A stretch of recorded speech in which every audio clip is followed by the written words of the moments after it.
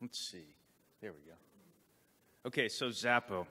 Xapo was founded in uh, 2013 by Wences Casares. Uh, background is 20 years in financial services, financial technologies from Argentina, and he founded what became the E-Trade of Latin America back in the early 90s and sold that to Banco Santander, and then he founded uh, uh, Banco Lemon, which was sold to Banco do Brasil. He then pioneered a, a, company in the NFC payment space and then uh, a mobile wallet. He was introduced to Bitcoin in 2011, and he began mining for, for himself and began buying Bitcoin for his own account. And he needed a place to keep it, so he had his dev team, all of whom have been with him a decade or more, uh, build a cold storage solution. And, and that cold storage solution was the beginning of, of Xapo, and it really remains the, the core of the company. Um, we're fortunate to, to have uh, pretty much everybody on the senior team with, with over a decade, sometimes two decades of experience in financial services and financial technology. We think that's uh, important for the future of the company going forward, and it's a boon to our, to our clients. Um, we have great investors. We're, we're blessed with uh, great investors, some of whom are in the room and at this conference, but uh, Benchmark led our first round, Greylock led the second. Index Ventures, Ribbit, Fortress. Um, it's, it's a great list and they're very value added. So that's kind of who we are. What we do, uh, sorry. So what Xapo is, is, is really a, a platform, a universal platform for Bitcoin. Uh, and two, two businesses reside on top of that. One is the consumer business. We provide retail Bitcoin services for consumers and the institution side of the business is primar primarily custodianship. So we securely store Bitcoin both for consumers and institutions, but with institutions we provide management tools for corporate treasury and um, private client services and, and the like. On the consumer side, we have a debit card connected to the, to the hosted wallet, and I'll talk more about that in a second. So if you if you want to know who Xapo is, there, our DNA and who we are at core, it's it's it's security and it's our vault. Our our philosophy is a little bit different than than some people in the in the security field, um, at least in the enterprise security field in Bitcoin. And we're animated by the fact, we're guided by the philosophy that private keys should never touch the internet. Period. Not at the creation of a multi-sig wallet, not when a transaction is signed, never, not once. So what we do is we bring the transaction to cold storage, not the other way around. And what we've done is we have five different cold storage vaults, uh, each with master private keys in them, in four different continents. And in order to withdraw bitcoins from the vault, when you, when you send bitcoins to our vaults on a multi-sig address, in order to withdraw bitcoins from the vault, you need three of those five uh, cold servers to sign the transaction. And so basically, we've combined deep cold storage and multi-sig to, to create what we think is the, the safest place to keep your Bitcoin. I, there's different use cases for different types of storage, but we believe that this is the baseline. If you absolutely must know that your keys will be safe, if you have a fiduciary duty, if you have a very large store of, of coins you keep for, for other people, for investors, we believe this is a solution. Now, the reason that we go to such great lengths on physical security, this is a picture of our cold storage vault in Switzerland. It's the only place we publicly announce where a vault is. It's in a former military installation. It was built to withstand nuclear war. Um, there's all sorts of physical, biometric, and um, other types of security inside there. The reason that's so important and why it seems we kind of go over the top there is that because that's where the private keys are, physical security is extraordinarily important. Um, and frankly, if we only had one of those vaults, that's too big a risk. That's why we have multiple vaults and we use multi-sig to, to withdraw uh, Bitcoin from, from our vault.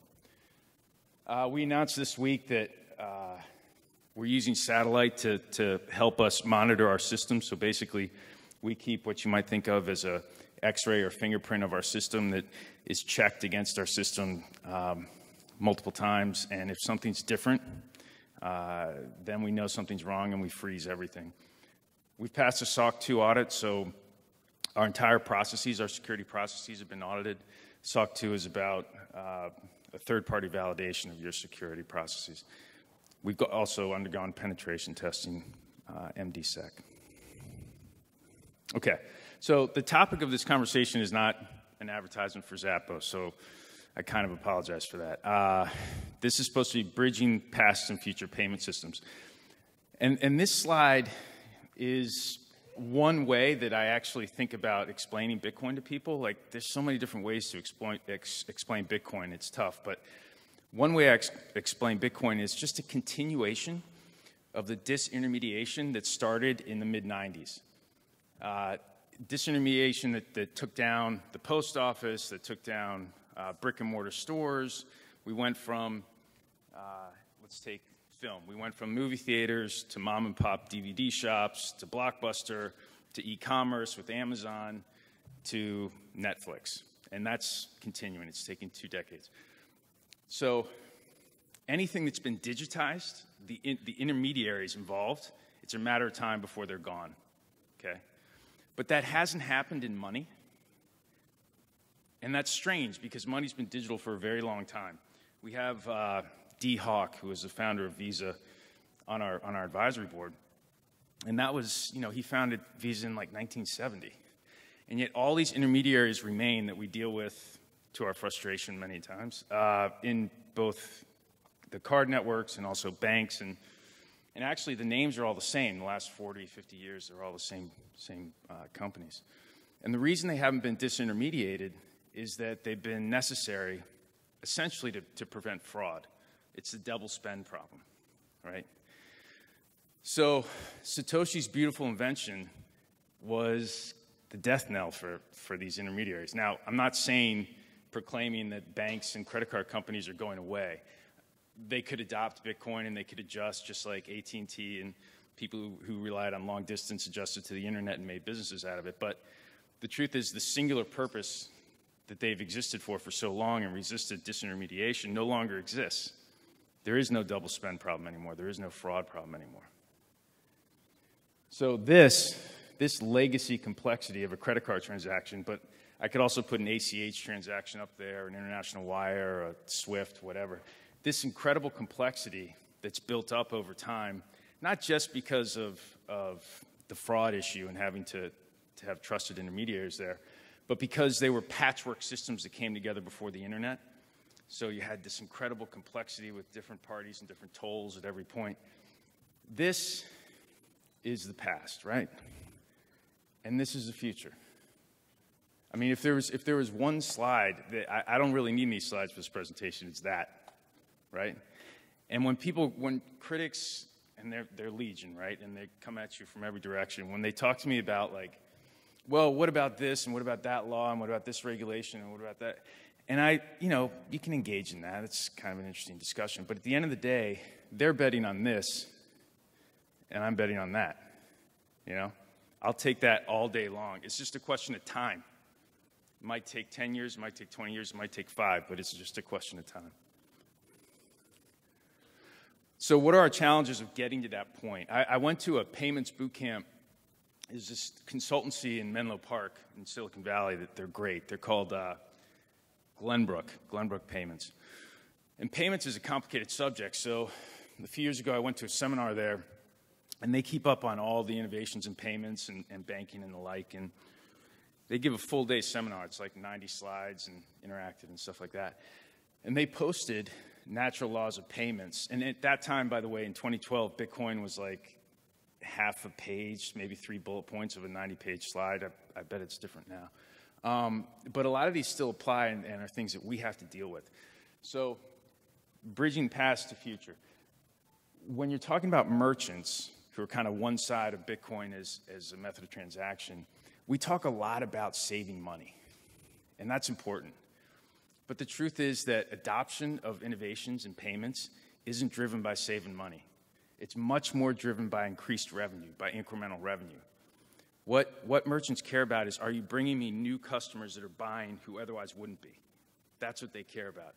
I can't explain why that is. I think it's because incremental revenue represents growth, and saving on costs represents you know, better cash flow, but it's not, it's not the same as growing your business. Um, convenience drive cha- drives change. We know that. Bitcoin is still way too inconvenient. You know, we'll solve it. We'll get there, but it's very hard to buy Bitcoin. Um, it's not easy enough for my mother-in-law to pick it up and use it. That's my test, you know. Um, and in some ways, we're going in the opposite direction.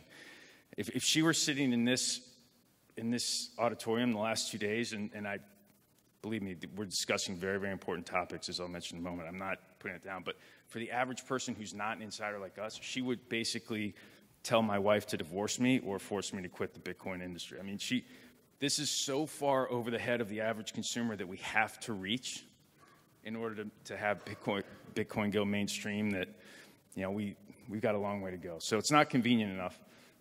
Some other stuff there that is probably worth pointing out. Security is table stakes. So I mentioned that Xapo's priority is security. What we really want to get to is a place where security is no longer the topic of discussion with Bitcoin. If we're engaging with people about Bitcoin and what we're talking about primarily is security, we're, we're in trouble, right? That has to be a given. It has to be a given. Um, chicken and egg, that's what we're dealing with right now in, in, in, this, in Bitcoin as a, as a payment method of transaction. Coinbase, BitPay, BitNet, GoCoin, they're all doing a great job of getting merchants on board. And at the same time, we're seeing cons- consumer adoption, but the twain have not met so much yet. You know, I think that will happen, and it's, it's because of the network effect. We get, we get reports um, every day of, uh, of user growth, at least as this data science firm sees it in, uh, on the Bitcoin network.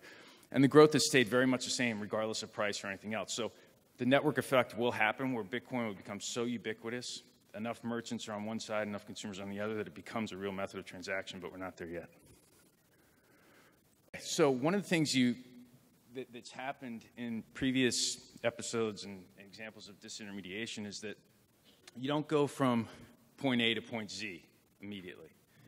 What you have for a long period of time is a hybrid right? So again, back to the to the film example, it's like the internet was used by Amazon uh, to make their logistics more efficient, you know, to be a better e-commerce company. Before we ever got to Netflix and pure streaming, you know, there was this combination of brick and mortar and warehouses and delivery trucks, as well as, as internet and, and efficiencies that came from it. That's kind of what we're going to see for a while in Bitcoin as well. So I, it's not just the debit card, which I'll talk about in a second, that's kind of a bridge between past and future. It's also, I really like what Circle's done with their wallet, um, even though it's a competitor theoretically. Coinbase, same thing. They, they've almost, um, when you go in there, you don't think so much, am I dealing with Bitcoin? Because you have USD and Bitcoin balance in it, and you choose whatever works for you. That's a really nice incremental step towards convenience and, and kind of um, going from the past to the future. So with the debit card, this is how a typical debit card tr- transaction works. You have five parties involved at least, and approval's got to take, it's got to go back and forth in under three seconds or the transaction time's out. With Xapo, this thing is tough, okay? If it wasn't tough, there'd be a lot more debit cards on the market right now. And I know there's a lot of chatter about debit cards and this and that you got to distinguish between a prepaid card where you sell your bitcoins and load the card and a true debit card that is connected to your bitcoin wallet and when you swipe the bitcoin is deducted that's what we had to build here with our with our program manager with our card partner and basically we still had the same three seconds to work with you know but we added this entire another layer of approvals and processes next to it so we launched uh, a beta oh sorry it's not just the, uh, this, this slide is just to point out that the debit card is not just about the technical challenges. There's a whole host of other stuff that we've got now a lot of scars on our back from um, in running this program. Uh, it's vast, and really, if you're going to run a debit card program, you got to make sure you have the resources internally to handle it, or forget it. You know. So we launched publicly in July you know, I do some things differently than what we did in that launch, and really it was my responsibility. There was some miscommunication. We, we found out, also not, not our fault, but we found out the last minute we couldn't ship to the US, which was a shock. Um, but it's going very well now. We're in 90 countries. Activities very typical of, of normal debit card usage. Um, we're adding more currencies based on demand because the currency in which you receive the debit card really matters because if you're spending it in a different currency, you get charged a currency conversion fee, and that, that sucks. Um, rolling out more features. It's globally accepted on the Visa network. Uh, use it, I withdrew 100 bucks last night in Miami from it, ATM withdrawals, no problem. It's chip and pin, magnetic stripe, so it works everywhere. We're really proud of it, um, but we're still in beta, so we haven't rolled it out completely. We're looking for a bank sponsor in the U.S. so we can ship it to our customers in the U.S., and we're getting closer. Um, there's a huge backlog of demand for it. Um, but, you know, despite all this, it's cool and everything. We're happy, but that's still the future, right? This is just the debit card is a hybrid bridge to this. Um, someday, just like no one's carrying around DVD. Well, some people are. No one's really carrying around DVDs and DVD players anymore. Um, no one's going to brick and mortar stores. They're just, I'm opening up my, my laptop and streaming on Netflix. There's not going to be any plastic card. I'm not going to go to a brick and mortar bank. Um, but it's going to be a long time before it is purely digital, but it's coming. So, okay, quickly, final thoughts. This has been an interesting conference because I was at this conference a year ago, and uh, man, I came out jazzed from that conference. I was just, I had gone down the Bitcoin rabbit hole thanks to our CEO, Wences Casares. Um, he, he caused an abrupt shift in my professional life with his pouring of the Kool Aid of Bitcoin. Um, and this was, the, this was the first conference that I've been to. And man, it was just an eclectic group. It was like, outliers everywhere and, and eccentrics everywhere and, and rah rah. And this, this year we're a lot more subdued, right? It's not a bad thing, but we're kind of like, okay, now we got to get serious and do the work, and that's cool. Um, but I do want to. The whole price thing is, is a double-edged sword. When it's going up, everybody overestimates how great things are, and when it's going down, they, they do the same thing. So I'm not worried at all. And I'm not worried because I think we've got the answer right now. I'm not worried because if you give me the why, I'll figure out the how. And what we're here, we're trying to figure out the how, but we will because we have the why. We have the purpose. We all got into this, I think, for, for reasons that, that involve more than just making money. You know, Bitcoin represents Bitcoin represents autonomy, financial autonomy, represents democratization of money so that people, 2 billion, 3 billion, 4 billion people, can have access to the financial services that we take for granted, right?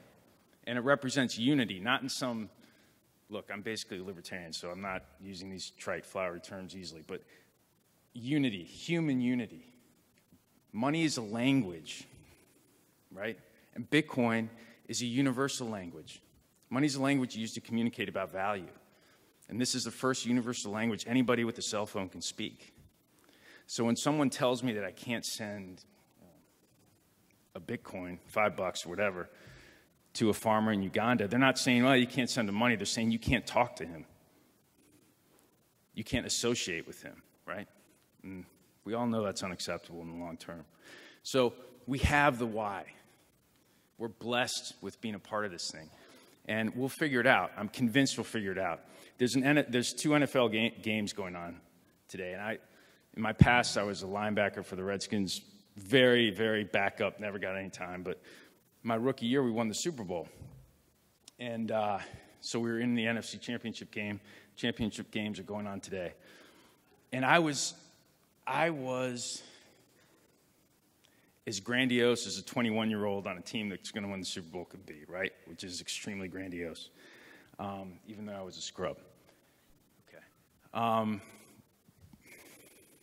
and I thought what we were doing was very important because a lot of people were giving it attention. But what's going on in Seattle today, what's going on in the other game today, is very interesting. It's fun, it's entertainment, but it's not important. What's going on here is important, right? With 200 people here. This, this is important, what we're doing. Even though the world doesn't know it, to recognize that this is important, right? So, to, to the critics, to, to the supporters, to everybody, nothing has changed from last year except the tone and our willingness to, to do the work. Um, and the, the message for me is still the same, which is to the moon, you know? to the effing moon. Thanks.